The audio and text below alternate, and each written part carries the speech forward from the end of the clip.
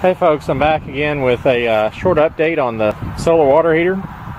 Um, today is uh, June the 7th and we just hit a 90 degree day. So it, it is exactly 90 degrees out here and it's 2 o'clock in the afternoon. Um, this thing will heat till about 4 and then then the sun starts setting and, and that's about all she wrote. But um, anyway, we're showing 95 degrees at the tank at the bottom. And we're showing a little over about 116. So if you take those two numbers, um, gives me about 105 degrees of 50 gallons. But uh, the nice thing is, you know, when you use a little bit of water, you're just going to pull off that really hot stuff. Um, and you won't run the, uh, the, the cooler water through into the hot water heater like I said, this is a pre-water heater. So um, water comes off my well into this tank and from this tank goes to electric water heater. So I have, um, the weather does not uh, vary my, my um, temperature of my hot water. It just varies how much money I'm going to have to spend on heating my hot water. Now, 95 degrees doesn't sound like, well, that's not that great.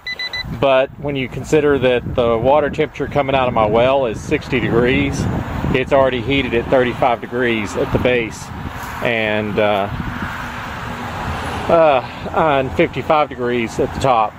So anyway, um, I highly recommend you know you can make one of these even out of an old water heater if you remove all you have to do on an old hot water heater is is just remove the insulation and paint the thing black. It won't last, like this one's stainless, it won't last as long, but you know, it's basically free hot water. So anyway, thanks for watching. Um, uh, everybody stay safe.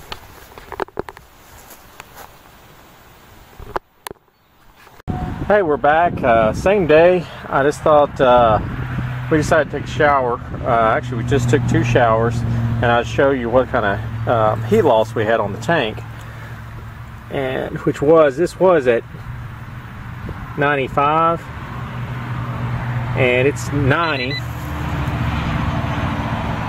and our crown has gone from 116 down to 108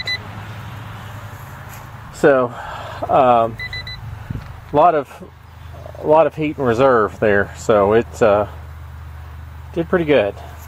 And that also means that most of the water we got in there went uh, was 115 degree water, not the 95 degree water.